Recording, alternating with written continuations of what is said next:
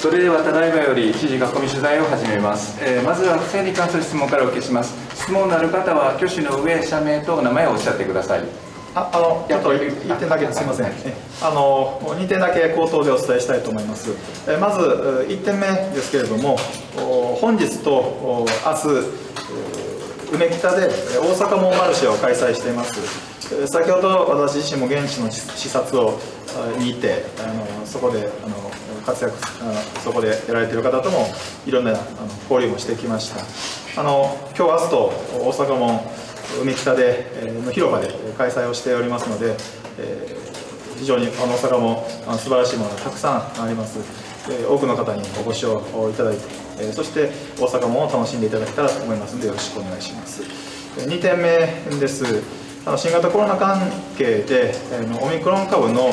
BA212 の1が大阪で初めて確認をされました。あの昨日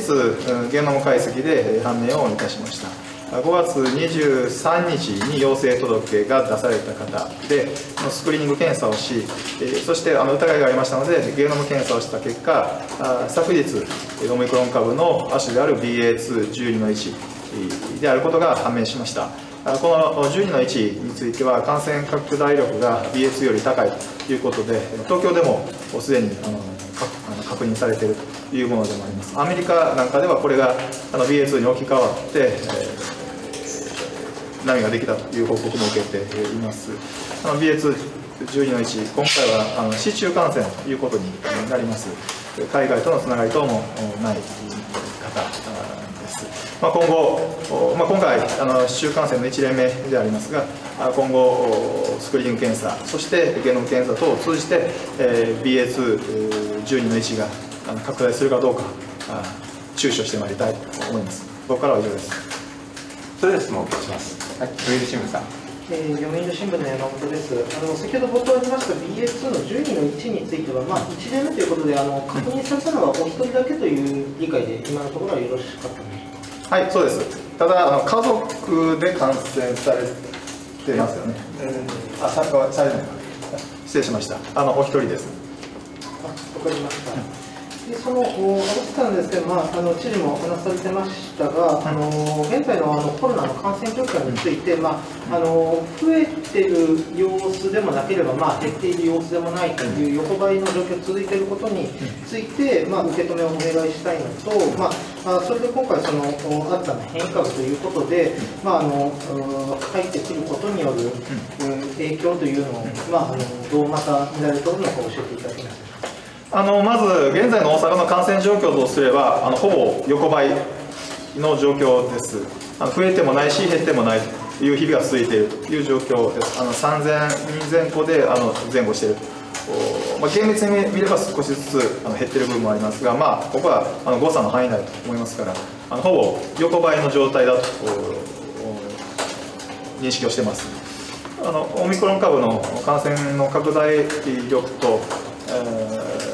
いわゆるその、まあ、ワクチン接種も含めて、えー、この熱が下が熱が下がってきているというかオミクロン株の,、まあ、あの感染の波が落ち着いてきているということがあの相まって、えー、ゼロにはならないんですけれどもその増える力と減る力というのがほぼ拮抗している状態なんだろうというふうに思っています。あの現状はあの大きく増えるという兆候はあの認められていませんありません。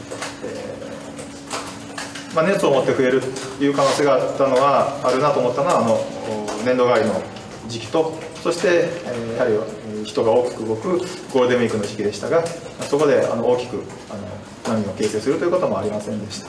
まあ、今後大きく減ることもありまないとは思いますがオミクロン株の拡大力からすると。あのバランスが均衡していると思うのであの大きく現時点では増える兆候はあのありません。また時期的に見ても何か増える兆候の時期だとも思ってもいないです。ただお一人お一人の基本的な感染対策をお願いしたいと思います、まあ、今後はあり得るとするならばこれはもう未来の予測はもう誰もできないのであの何とも言えません。ただ、まあ、あり得るとするとこれまでの経験からいくとやはり変異株があの入ってきて、えー、時そして変異株が熱を持った時に波ができる。ということは今まで経験してきた事実です。あの今先ほど冒頭でもお伝えしました BA212 の1については BA.2 よりも感染拡大力が強いということ。これはもうあの専門家の見地から明らかになっているという部分とあのアメリカではあのこの BA.2 の10人の1があのあの波を作ったということもあの報告を受けてますのであの警戒すべき変異株の一つだろうと思っています。あの東京でも無線に見つかっています。あの大阪でもあの判明しましたもうあのまあこれはあの時間の問題だと思ってます。あとはこれ大きな波になるかどうかあの置き換わりについてあの注視をしていきたいと思います。かりました。あの次にあの、えっと昨日お岸田首相の方がですね、まあ、あの外国人の観光客の受け入れについて表明をされました。で、あの知事は、えっとまずは国内需要を喚起するべきという考えだったと思うんですけれども、例えばその中であの言ってました、その、GoTo のキャンペーンっていうのは、これはあのどういった時期にまたあの再開していったりだとかするのがいいのかというふうなお考えがあれば教えていただけますか？もうこれは、GoTo トラベルは国の政策なんで、あの国が専門家の意見も聞いて判断すべきだと思ってます。まあ、地方のレベルで判断できるのは、もうそれぞれやってるあの県民割、で大阪でいらっしゃいキャンペーンと隣隣あの近隣府県のあの拡,、まあ、拡大までです。あの大阪とすれば、これ6月1日から再開したところなので、まずここを広めていきたいと思います。あと、その奈良について、えー、もうここはあの協議もいたしまして、えー、合意に至りました。大阪の、え、奈良の方が大阪に宿泊をして利用される場合は、大阪いらっしゃいキャンペーンの対象といたします。これは奈良県の同意もありました。で、逆に大阪から奈良にあの行かれる場合については、あの奈良の県民割はあの使えないということになります。これは大阪だけじゃなくて、奈良県さんの方針として、え、他の他県からも含めて同じだというふうにあの聞いていますので、えー、これはまあそういう方針だと。あのそれぞれの県に方針がありますので、あのそういうことになるということだけお伝えをしておきます。だから奈良以外については、あの全て双方向、あの近隣府県としては双双方向のあのいらっしゃいキャンペーン、あるいはそれぞれの県民割をあの使うことができるということと、あの奈良に関しては奈良県の方が大阪に使う場合はいらっしゃいキャンペーンをご利用いただけるので、ぜひそういったものを活用してあのいただけたらなというふうに思っています。まあ、そういったことでも、十分僕は医療、あのあの観光需要というか、宿泊需要というのはかなり喚起されてくると思います。GoTo トラベルについては、もう政府が判断すればいいと思ってます。他ございますでしょうか？はい、新家さん。なんか普通はさっき GoTo トラベルが先ちゃうかなと思うんですけどね、あの観光目的の外国人観光客を入れる前に GoTo トラベルじゃないのかなとは思うんですけど、まあ、あのそこはもう政府の判断だと思います。あどうぞあとはその感染症対策をどうするかと、まあ、昨日も話議論しましたけども、どう捉えるかというのが僕は肝だと思ってます。そこのところを置きながらあの観光目的の外国人観光客をまあどんどん入れていこうというのはちょっと違うんじゃないかなというのは昨日もお伝えした通りです。まずは国内の状況、先ほど申し上げたように変異株とあのあの国内の動きでそこまで大きくあのなんていうかよ、うん、あの日本はあの島国ですから陸でつながってますけどもあの、まあ、島国いろいろ当然つながってますがあまあ、日本国民の中で大きく今感染が広がってませんのでそういった感染ではあの広がってないこの日本国でまずはあの十分需要は喚起できるだろうと思ってます。はい、じゃあお願いします。すみません、日経新聞の山下と申します。あの、えー、BA.2 でその新たな感染者について何点かお伺いしたいんですけど、まず性別と年代を教えていただけますでしょうか？あの男性で50代です。で、あのすみません。またあの正確にえっ、と担当部からあの資料の投げ込みをメディアの皆さんにはさせてあのいただきます。うん、僕は昨日50代男性ですね。50代男性だと思います。で海外渡航歴なし。であの症状は軽症。です。えー、症状は軽症です。すみません、その上でなんですけど、大阪市内というっとあごめんなさい。あのえっと、濃厚接触者の方がいらっしゃいます家族の方が濃厚接触者になると思います同居の家族いらっしゃる。同居の家族まではまだ完全認められて同居の家族がいらっしゃるので同居の家族はもう濃厚接触者になると思いますはい、他質問ございますでしょうか？はい、共同さん。共同の丸かというんですが、今の関連で、スクリーニングをしていくというお話でしたけれども、今現状、そのスクリーニングの体制というのはどういう状況なんですか、あの日々3000人前後感染が出ていて、それらはそれからスクリーニングできているのか、そのあたりをお願いします。あのーウイルス量が多い人について、ウイルス量が多い検体についてスクリーニング検査をしています。あの CT 値が30未満の部分については原則として、えースクリーニング検査をし、えーそして、えーこれは BA2 のスクリーニング検査ですけれども、このスクリーニング検査をする中で、あの BA212 の位置については何かあのあの特徴があの把握することができますその特徴を把握してこれ BA212 の位置の可能性があるという検体についてはもう今の BA2 のスクリング検査で抽出できます。で今回はそれを抽出したあの検体をゲノム解析した結果 BA212 であることが判明を昨日いたしました。だから23日陽性争議が出て24日にあのその方の陽性をあのとしてこう全体の雇用の数字の中に入りそしてあのスクリーニング検査をして、えーゲノム解析を回した結果あの昨日の段階で陽性だと判明したということです。であのスクリーニング検査の対象はさっきの僕の間違いなかったですかね。スクリーニングをして、あのウイルス量があのおっしゃったように、30未満のものについてゲノム解析みたいなあスクリーニングの対象はそのスクリーニングはそうですね、いろんなあのスクリーニング可能な実施機関に集まった検体について積極的に行っています。一部ちょっと訂正します。あの日々3000人判明してますが、当然、これはもう当然ですけども、全員スクリーン検査してるわけではありません。でもその3000の検体の中からあの、ある程度ピックアップをしてですね、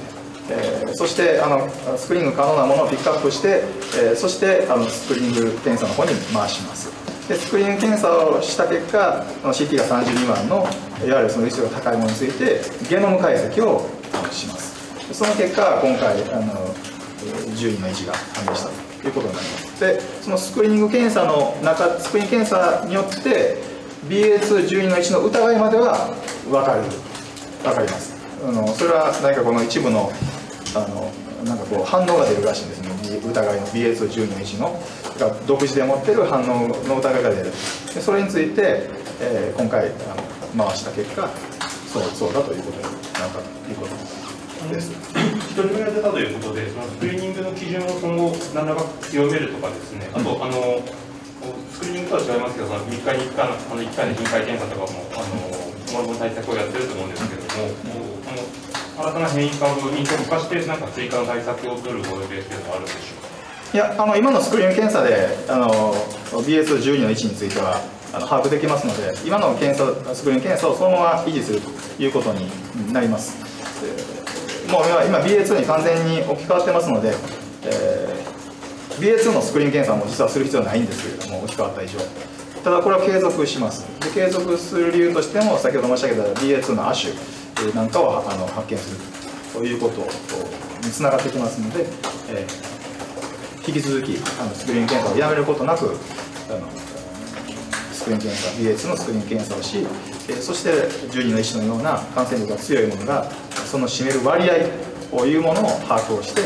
対策をあの取っていきたいと思います。であの全数やる必要はありませんので大体どのぐらい置き換わってるかっていうその感染の置き換わりのスピードがあの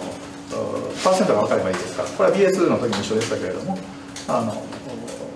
なんかこの BA2 の人を判明して遡って何かするというものではありませんから今の体制であの割合が増えればあるいは置き換えが進んでくればキャッチできると思ってますありがとうございます。あそのキャそのキャッチもしっかりやっていきたいと思います他よろしいですか。あ、さん。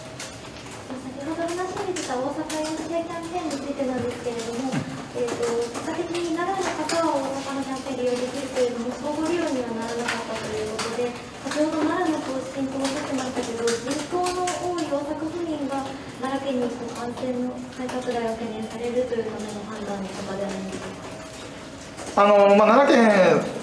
は奈良県さん聞いていただいた方が正確だと思いますあの僕自身が聞いてるのは予算の都合ですね結局あの総合利用っていうのはどうなってるかっていうとあの奈良の県民割は奈良県の予算財源財源、まあ、国から財源来ますけれども奈良県の予算の範囲内でやります。それは大阪府民の方が奈良にあの行った時に県民割を使えばそれは奈良の予算の執行になります。あの逆もまたしかりです。ですのであの例えば大阪が今大阪と兵庫が双方向でやってますから大阪の人が有馬に行ったらあそれは兵庫の県民割を大阪の人が使うことになりますから兵庫の予算執行としてその兵庫県民以外の人をいわゆる兵庫の事業だけども受けるというのがあの相互利用の仕組みになります。あのまあ聞いてるのはやはりその予算の考え方のところ、まあ、感染が多いとかっていうよりは予算の考え方というところだと聞いてあのいます。つまり、まあ、それは間違いでもなくてですねあのこれは奈良県民に奈良の予算を執行するというのはあの、まあ、別にあのそれは一つの筋論でもありますから考え方だと思います。で、えー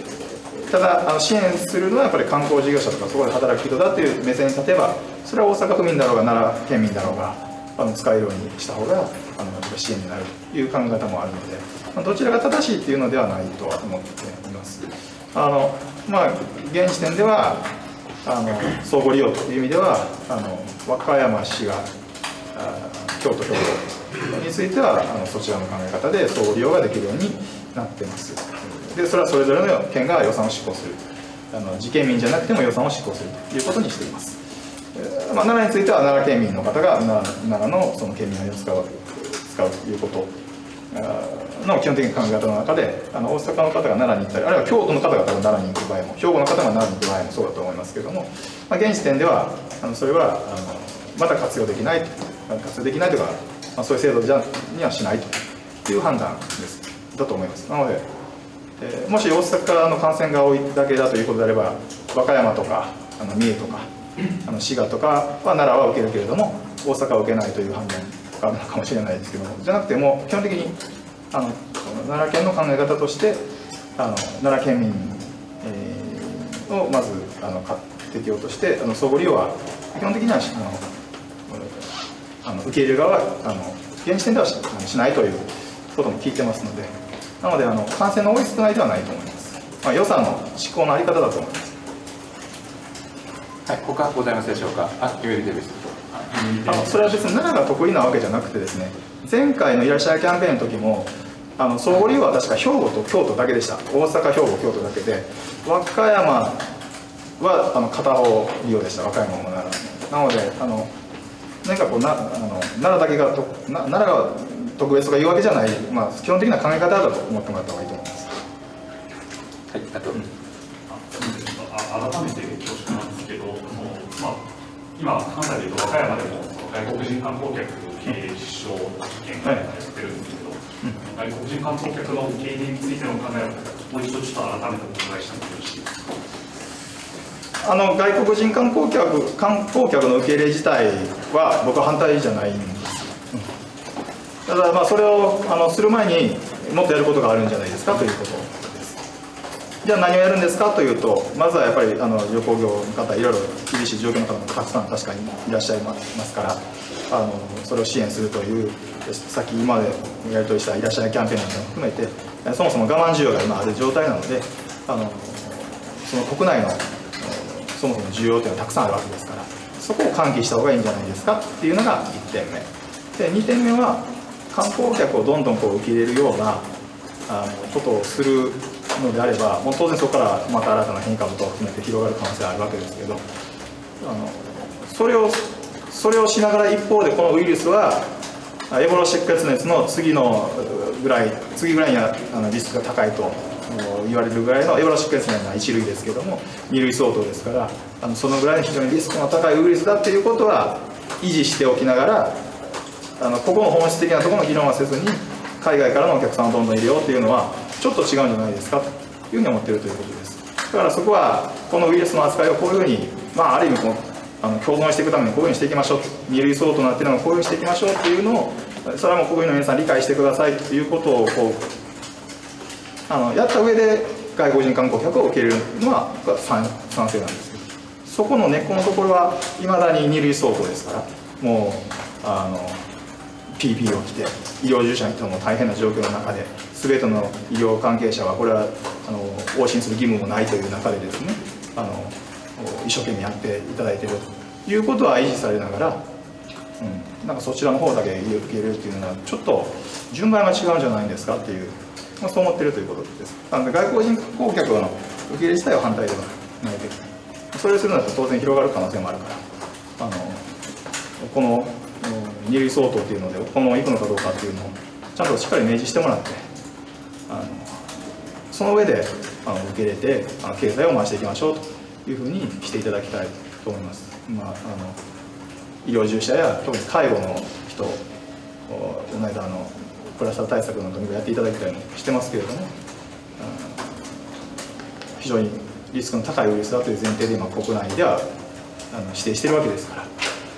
なんかそこの議論をスポスパッと抜きながらあのどんどん海外から受け入れましょうっていうのは、ちょっと順番が違うんじゃないですかというのが、まあ、僕の考え方です。あの